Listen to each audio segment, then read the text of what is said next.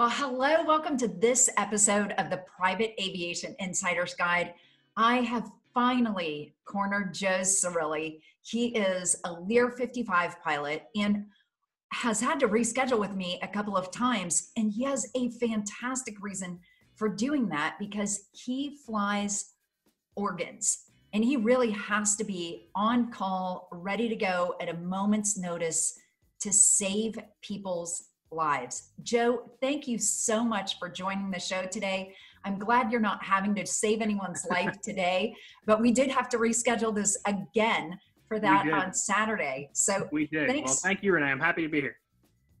Wonderful. Well, I want to jump right in and talk about the suitability of the Lear 45 for this specific mission because you're not the first pilot that I've talked to that uses an older Lear sure. for the mission of medevac?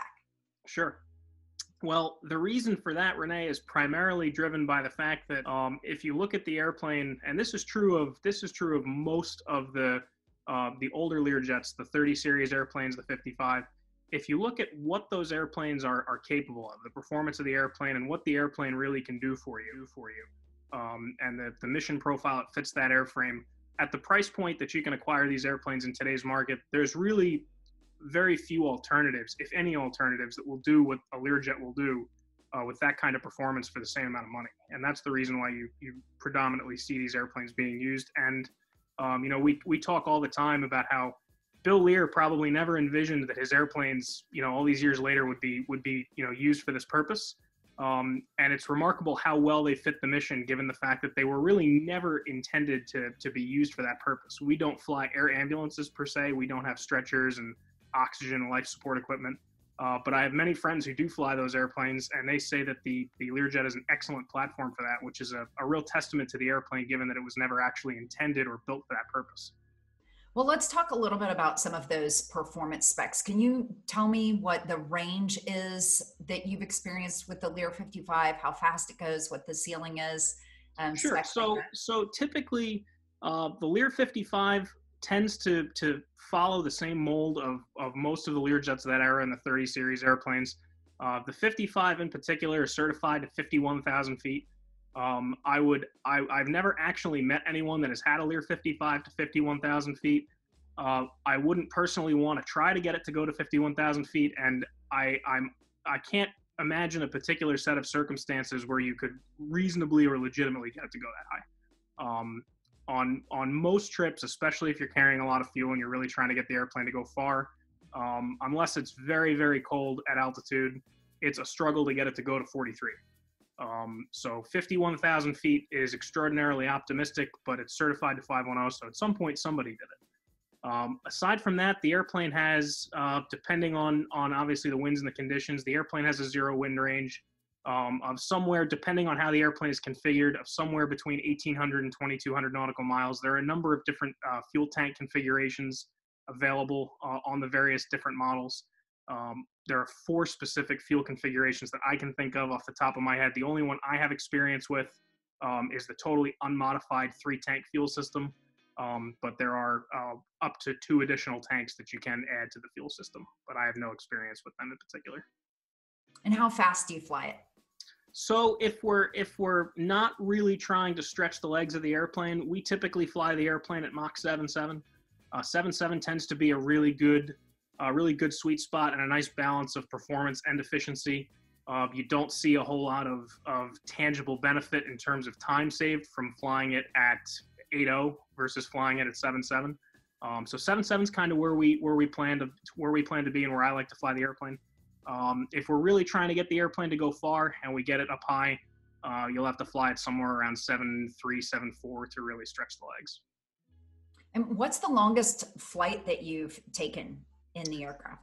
The longest trip I have taken in the 55, um, we typically, if we're really trying to go far, we'll typically use the 35 for that trip. But on a, the, the longest I've had the 55 is probably Denver.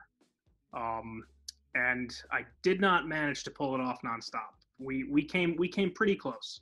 Um, we were we I was kind of keeping an eye on on what the conditions were like and and uh, what the headwind. We had about 115 knots of headwind for just about the entire trip.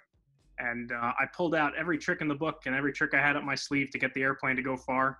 And uh, you know, the FMS was saying we were going to land with about 1,100 pounds of fuel, which uh, you know, on a bright sunny day, that that's still cutting it a little bit close for me at 1,100 pounds. But uh, you know, we just decided we'd stop for fuel. But uh, but Denver is probably the furthest the furthest away I've had the airplane. The airplane came home from Denver with absolutely no problem. And uh, if you take you know another another 40 or 50 knots of headwind off, we probably would have made it with no trouble. Perfect. And for those people who don't know, uh, Joe flies this plane out of Teterboro. So going from New York to Denver, that's a long, long way for sure. Yes, we are we are we are based at Teterboro, which is uh, which which certainly has its moments. well, that's a crazy airport in normal times. Although I'm hearing it the is. coronavirus shutdown sure uh, depleted to the activity at that airport. It's it's a sight to be seen. I've I've never uh, never seen anything quite like it. But I uh, you know people ask me frequently what the experience of being based out of Teterboro is like, because just about everybody in this business has been to Teterboro. Um, but uh, a relatively small proportion of those people are actually live there. And uh, you know, I I tell people I'm probably the worst one to ask because because of our mission and the fact that we're always coming into Teterboro and leaving Teterboro as a medevac. Um, I very rarely experience the the 10 and 12 and 13 airplane stacks to to wait for your turn to go. Um, so I'm not I'm not I've been based there for three years, but I'm not particularly used to having to wait in line at Teterboro. So I'm not the best person to describe the Teterboro experience. So you have the Disney World Fast Pass for private aviation. That's sure, nice. and it's it's uh, you know I'm, we're spoiled on that regard for sure, for sure. But uh, but it's definitely for a good reason because you know some sometimes or most of the time on these trips the the uh, the 20 or 30 minutes that we pick up trying to get out of Teterboro makes a world of difference. Yeah, absolutely. It could be a lifeline for someone. Sure. I'd love to know a little bit more about the actual operation of the airplane because I know that you also fly a Phenom 300, which is a little bit more modern mm-hmm. aircraft. So I want to hear about how difficult it is to fly the 55. Or Are sure. there any special touches that you need to be a, a successful pilot of that aircraft? Sure. Well, uh, I don't fly the 300 anymore.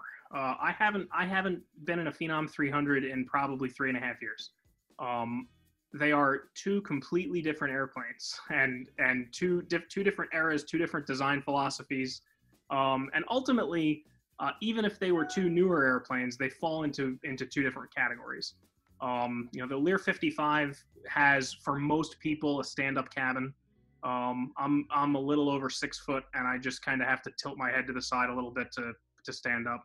Um, but it's a it's a bigger cabin in the 55, but they're two they're two completely different airplanes. The Phenom 300 is is by and large an easier airplane to fly, um, and I think the fact that it's it's an airplane with that much performance that is a single pilot certified airplane speaks to that. Um, the fact that you can have an airplane performs that well, and and the FAA said one guy's enough to fly it, that's that says a lot about the airplane. Um, the Lear 55, on the other hand, uh, also tends to kind of follow the the older Learjet philosophy uh, or or uh, retain a lot of the characteristics of the older Learjets, and that it's a little bit of a slippery airplane. Um, it's it's I tell people it's not a particularly challenging airplane to fly, um, it but it's a very unforgiving airplane, uh, and that's true of most of the older Learjets and even even some of the newer models like the 60. Um, Explain so what it, you mean by that.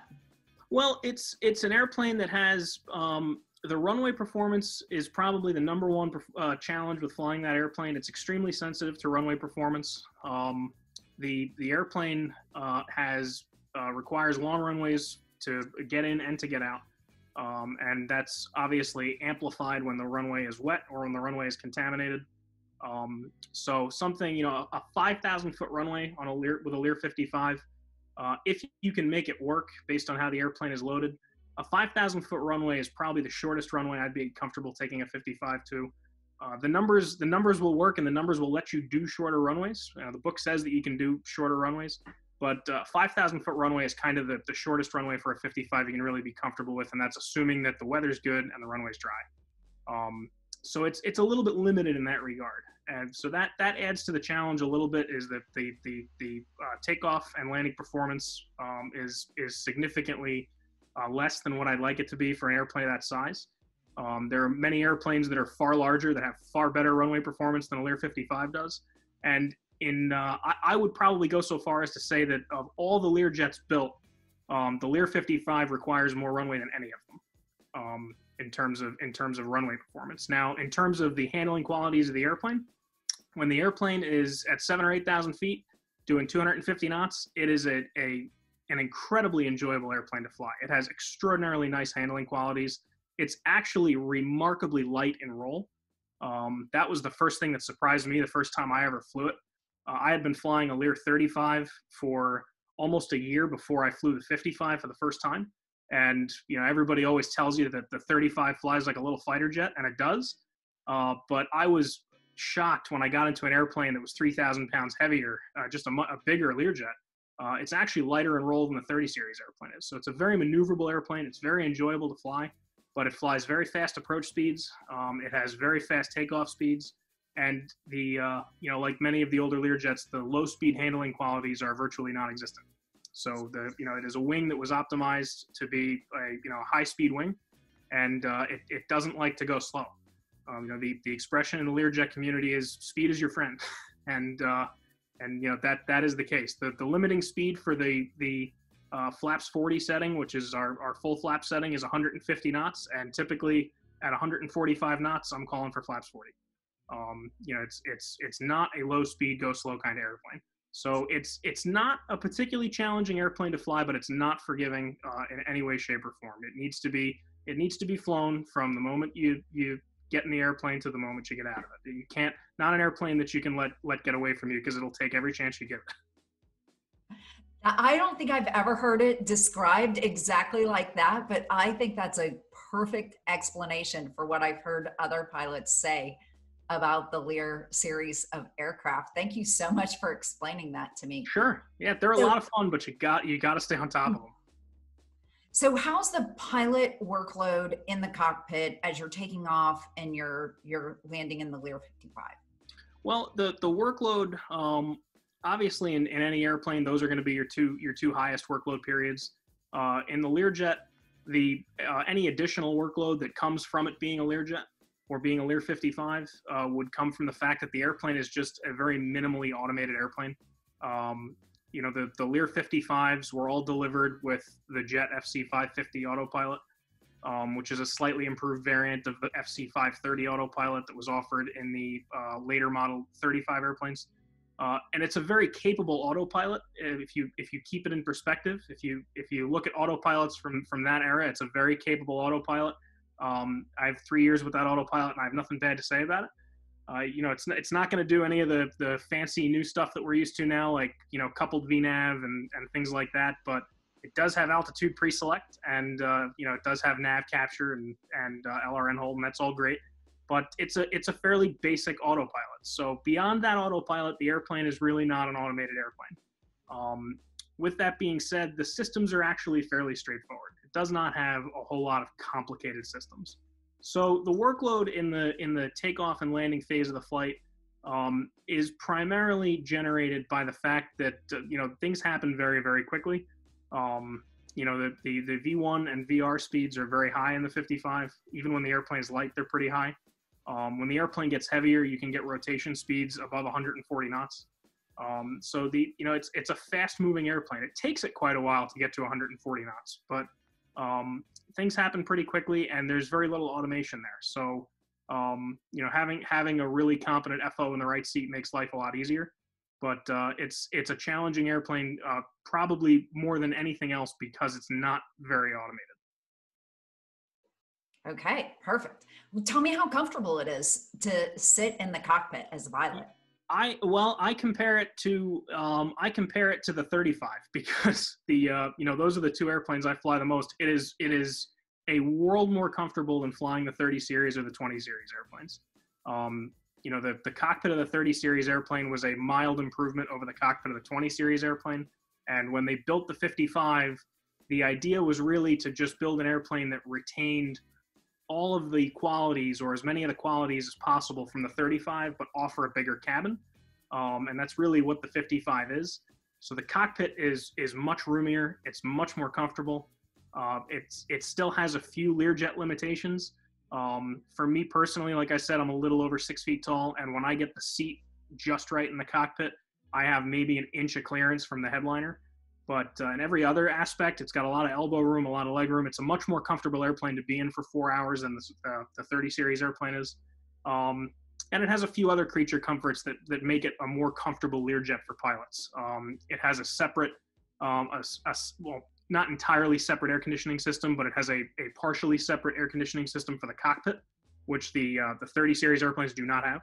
So the cockpit of the 55 stays much cooler in the summertime than the, the 30 series airplane does.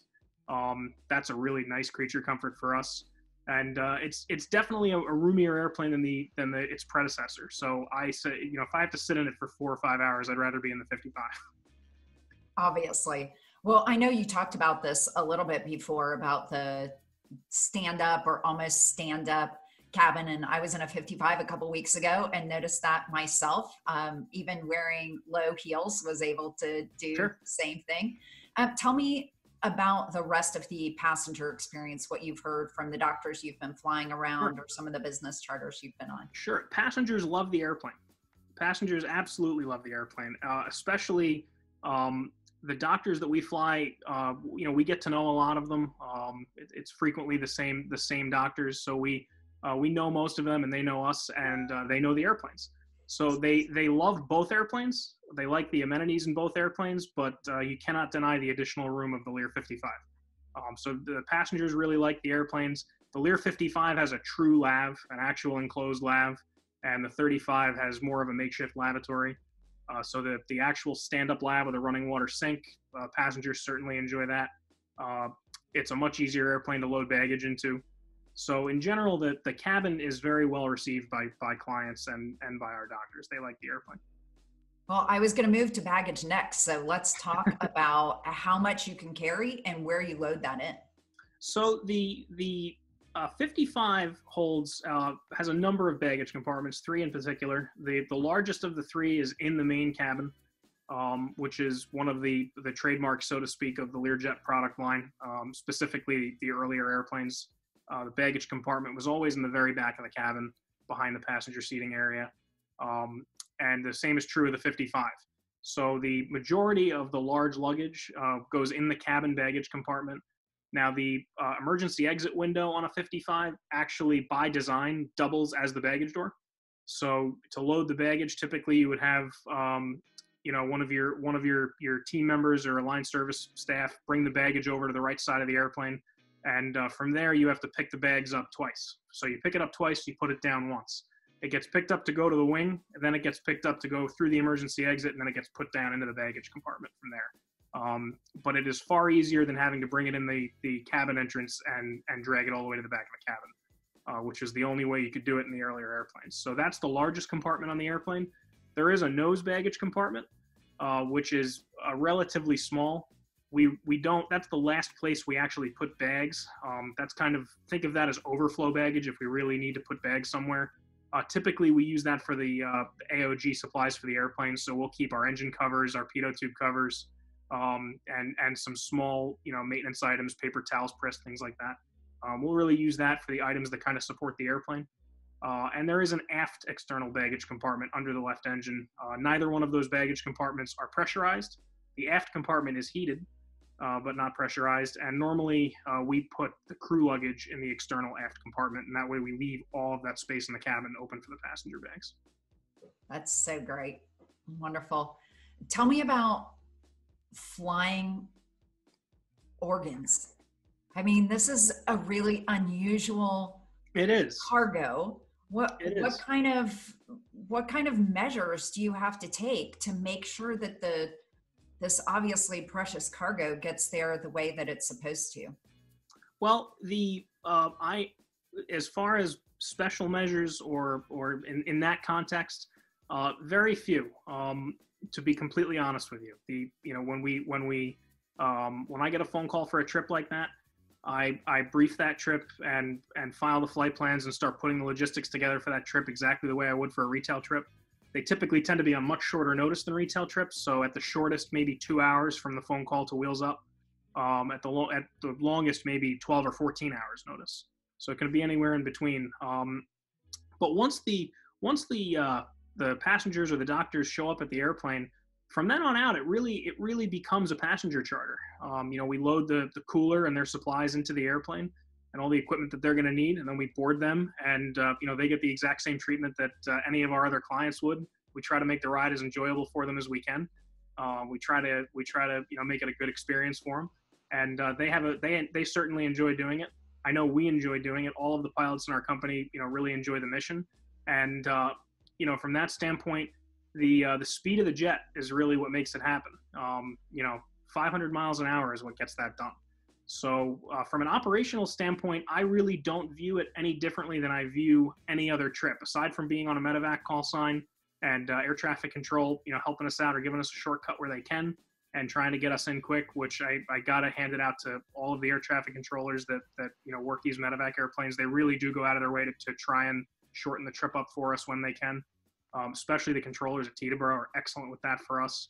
Um, you know, they do an excellent job and uh, the rest of the magic is is all the doctors. I mean, they're doing they're doing an incredible incredible thing, and uh, we're just trying to to get them safely from A to B and make it an enjoyable experience. And in many ways, I think that as as a pilot in command in an operation like that, that's kind of the way you need to look at it. So I've never, um, you know, I, I certainly don't waste any time getting done what needs to get done. But once the door closes and and we get ready to go, I treat that trip as any other trip. Um, you know, I don't I don't uh, do anything differently than I would flying uh, any other kind of mission. Um, I, I, you know, I don't, I don't let what's in the back of the airplane get inside my head because I don't want to, don't want to operate the airplane any differently or, or view any situations like weather, performance, anything differently than I would just because we're a medevac. So, um, so that's kind of the way I look at it personally. I think that's the way most of most of the pilots that do this uh, kind of look at it. Once the door closes, it's it's it's any other trip. Well, it's such an important mission, always important to have your airplane ready to go and well maintained, which absolutely to ask you about any maintenance issues, kind of chronic maintenance issues on the Lear 55. And I don't know how much you're involved in the direct operating costs or or the maintenance costs of the 55, but sure. obviously they're getting a, a, little bit long in the tooth and they are need some things uh, extra things done. So anything you can talk to you about that would be great. So these airplanes these airplanes provided that they are that they're properly maintained um, and they're being maintained by people that really know the airplane and know what they're looking at uh, these airplanes the dispatch reliability and the dispatch rate on these airplanes is um, is is equal to anything of the era um, you know it, it, when we start talking about airplanes that are 30 and 35 years old um, I would say that there is not another 30 or 35 year old uh, jet out there with a dispatch rate any better. Um, you know, we obviously, you know, we have a, an in-house maintenance department that are always putting eyes on the airplanes, and uh, you know, they take excellent care of our airplanes. Um, so, so you know, our airplanes have been fantastic for us from a maintenance standpoint. Obviously, you know, they are airplanes and they are 35 years old, so from time to time things do break. Um, the thrust reversers in particular are something on the 55 that you really need uh, somebody in your maintenance department that really understands that system to maintain that system. The uh, Lear 55 in particular was only offered with two tailpipe configurations, so they either have Aeronca thrust reversers or they have no thrust reversers. They were never offered with the Dee Howard thrust reversers that the 30 series airplanes were. So the the Aeronca thrust reversers are pneumatic TRs, so they're air actuated. They're actuated by bleed air servos, um, which makes them a little bit unique. And they just require a little bit of extra lubrication and a little bit of extra maintenance to keep them operating. If they're being maintained on an ongoing basis, they uh, they're incredibly reliable and and they work. I mean, they're extremely effective, uh, which I think is not something you can say about every thrust reverser configuration on a jet. Typically, uh, the overwhelming majority of your stopping performance is coming from your brakes. Uh, on a on a Learjet with Aeronca thrust reversers, uh, when they come out, they come out, and they really work very well. I would say you could stop a Lear 55 in under uh, under 4,000 feet or 3,500 feet, even with just the thrust reversers. So um, they're they're a real asset to the airplane to keeping the runway performance manageable. Um, and uh, as long as you have somebody working on them and looking at them that really understands the system, they're very reliable. But um, typically, when you hear about operators talking about how they, they don't particularly care for the Aeronca TR and they've had reliability problems, that's not so much an issue with the design of the TR as it is with as it is with who's putting eyes on the system. Very good to know. That's the first time I've heard that at all. Sure. Yeah, the the, the Roncas are great, but they but you need to you need to know what you're looking at when you work on them. So in closing this part of the interview, I want to know what you think is the greatest strength and the biggest weakness of the Lear 55 overall. I would say that the the greatest strength of the 55 is the passenger appeal. I think that I think that it's it is a an airplane like like I said is very well received by passengers. It's got a fantastic cabin. It's got great amenities for the passengers. It's got a, a, a very large refreshment center, a true lav that's enclosed. Um, unfortunately, it's not an externally serviced lavatory, but from a passenger standpoint, that makes no difference. Uh, but it's it's a good lav from a passenger standpoint. The cabin is fantastic, and quite frankly, I think you'd be hard pressed to find an airplane at the current price point of Lear 55s that delivers a better cabin for the money. Um, that would that would be a challenge, especially in that in that general class of the airplane.